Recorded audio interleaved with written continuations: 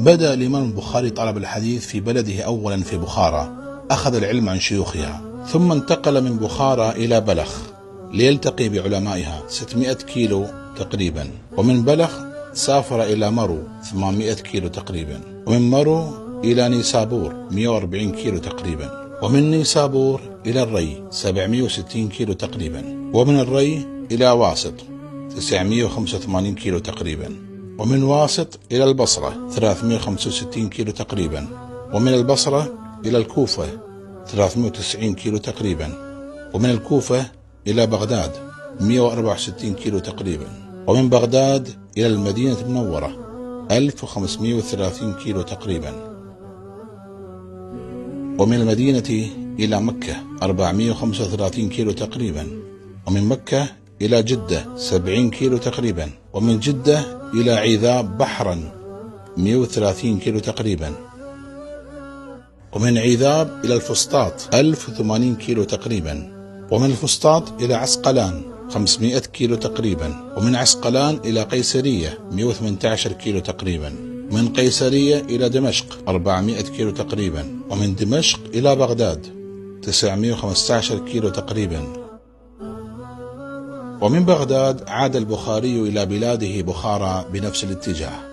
مجموع المسافات التي قطعها الإمام البخاري من بخارى حتى العودة إليها ما يقارب 14 ألف كيلومتر. قطعها الإمام البخاري ما بين المشي على الأقدام وركوب الدابة. أرى من الظلم الطعن في إمام هذا حاله الذي أمضى 16 سنة يقطع فيها آلاف الأميال مرتحلا من بلد إلى بلد ليروي لنا كتابه الصحيح عن الشيوخ والرواة. بينما الطاعن نفسه لا يحفظ عشرة أحاديث بأسانيدها. أتحداه أنه قرأ صحيح البخاري كاملا. ومن إفلاس الطاعنين أنهم يرددون نفس الشبهات على البخاري. هي نفس الأحاديث ونفس الإشكالات التي ذكرها النصارى. وكتبها المستشرقون. وكررها الباطنيون. وجاء اليوم العلمانيون والقرآنيون والتنويريون. جاءوا يركضون. ونفس الإشكالات يرددون. مهلا يا دعاة الضلالة مهلا يا دعاة الضلالة. طيب غيروا شوي بدلوا شوي. ضيفوا حديث آخر وشبهة جديدة. أبدا لأنهم لا يقرؤون ولا يبحثون بل كالببغاوات يرددون. حتى الإبداع في النقد ماكو. بعدما أنهى البخاري من كتابه ماذا صنع؟ شوفوا الذكاء عند هذا الإمام. قام وعرضه على كبار شيوخ الإسلام وأبرز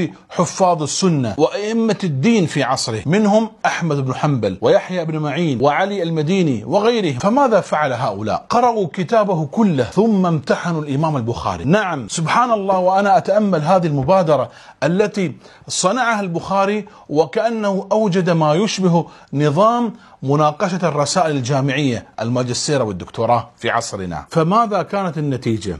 النتيجة استحسن هؤلاء العلماء كتاب البخاري وشهدوا له بالصحة والإتقان وانتقدوه فقط في أربعة أحاديث. نعم علماء عصره كان نقدهم على أربعة أحاديث.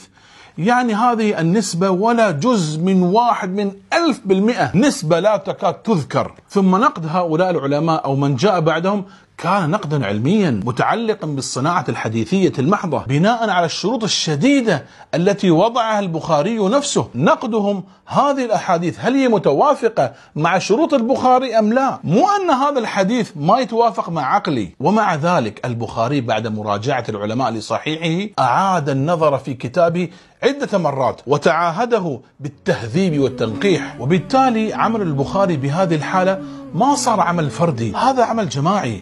وبمعايير عالية جدا من الدقة والاحترافية. هل نحن نزعم أن البخاري معصوم؟ لم يقل أحد هذا. هو يصيب ويخطئ في حياته العادية. لكن البخاري كما يقول أحد الدعاة الإمام البخاري إذا أخذ مجلسه وأظهر محبرته ومسك قلمه فإنه لا يخطئ. ليس لأنه معصوم ولا لكمال ذاته بل لكمال منهجه. هو اختار الأحاديث وفق منهج سديد وشرطه لقبول الحديث شرط شديد. فهو يسير على هذا المنهج وذاك الشرط. هل رأيت آلة حاسبة تخطئ؟ ما بالها تصيب في كل عملية حسابية. أهي معصومة؟ أم يا ترى الذي اخترعها معصوم لا يخطئ؟ لا يقول هذا أحد. أرجوكم ركزوا. ليس حديثنا هنا عن عصمة وإنما حديثنا عن الإتقان. فكما أتقن المخترع اختراعه كذلك أتقن البخاري كتابه. صحيح البخاري.